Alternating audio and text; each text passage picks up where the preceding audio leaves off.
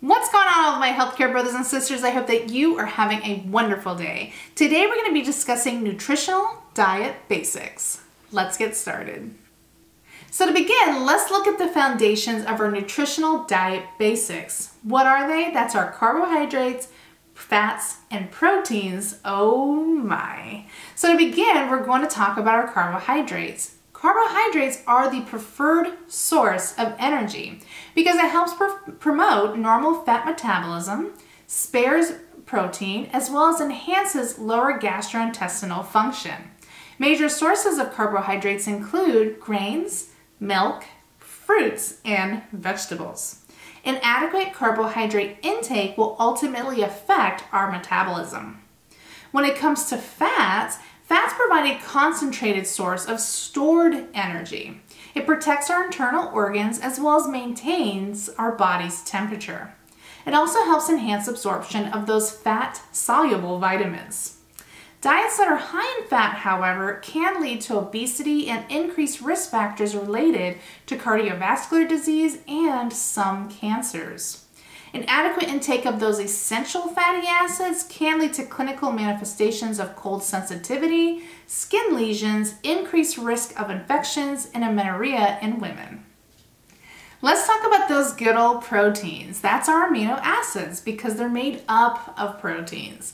They really are critical when it comes to every aspect of growth and development. Essential amino acids are required because the body cannot manufacture them. So it's very important that we have a good intake of proteins. Proteins also help build and repair body tissues, regulate body fluids, maintain acid-base balance, produce antibodies, provide us energy, and produce enzymes and hormones. An adequate protein can cause protein energy malnutrition and severe wasting of fat and muscle tissues. Besides our previous foundation of nutritional diet basics, we also have vitamins, minerals, electrolytes, and water. So to begin, vitamins help facilitate metabolism of our proteins, fats, and carbohydrates and act as a catalyst for metabolic functions. Vitamins promote life and growth processes and maintain and regulate body functions. Fat-soluble vitamins such as A, D, E, and K can be stored in the body, so an excess can be toxic. B and C vitamins are water-soluble vitamins that are not stored in the body and are easily excreted through our urine. So how do we obtain these water and fat soluble vitamins? Well, when it comes to our water soluble vitamins and food sources, we begin by looking at folic acid. You can obtain that through green leafy vegetables, liver, beef, and fish, legumes, grapefruit, and oranges. Niacin is another water soluble vitamin, and you can get that through meats, poultry, fish, beans, peanuts, as well as grains.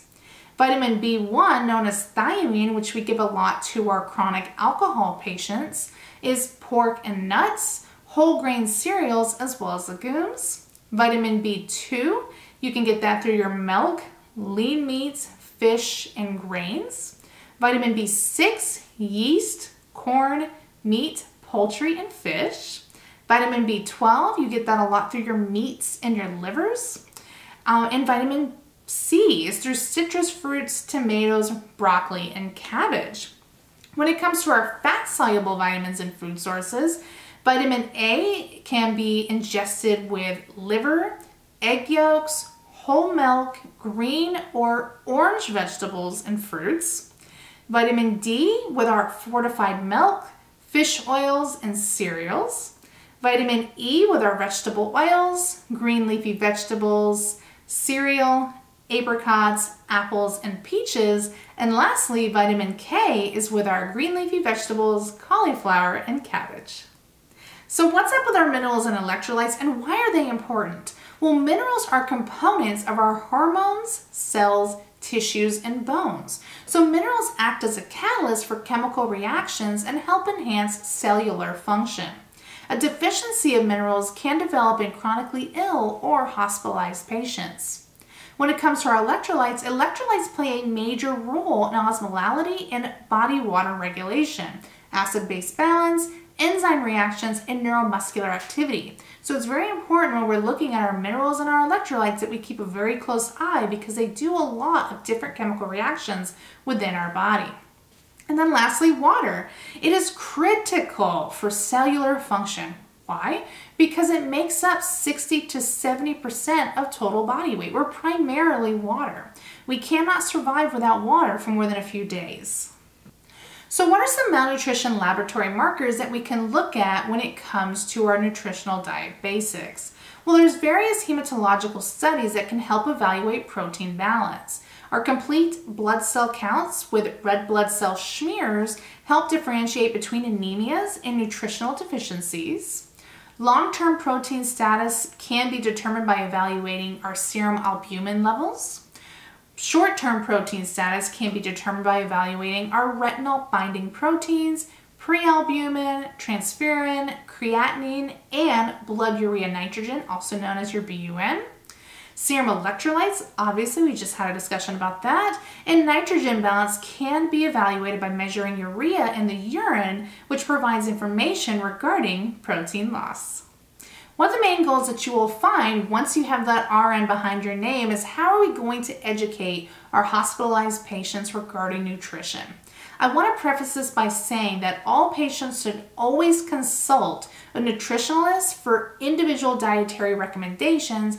However, the government's website, www.choosemyplate.gov, is a tremendous resource that helps provide what a balanced diet looks like in regards to grains, vegetables, fruit, dairy products, as well as protein. Some of the guidelines that you will find on there is avoiding eating oversized portions of food, fill half of the plate with fruits and vegetables, vary the type of vegetables and fruits eaten, select at least half of the grains as whole grains, ensure that the foods from the dairy group are high in calcium, you want to drink milk that is either fat-free or low in fat, Eat protein foods that are lean, select fresh foods over frozen and canned foods, and drink water rather than liquids that contain sugar. I hope that this video was helpful for you in understanding nutritional diet basics. If you have any additional questions, make sure that you leave them down below. I love answering your questions. Make sure that you check me out on my social media. I'm on Facebook and Instagram. Subscribe here on YouTube and hit that bell notification so you are aware every time I post a new video. Check out my website at nursecheung.com where there's additional resources to help you pass those skills exams as well as your NCLEX. But until next time, I hope that you're having a wonderful day and I will see you all again soon. Bye!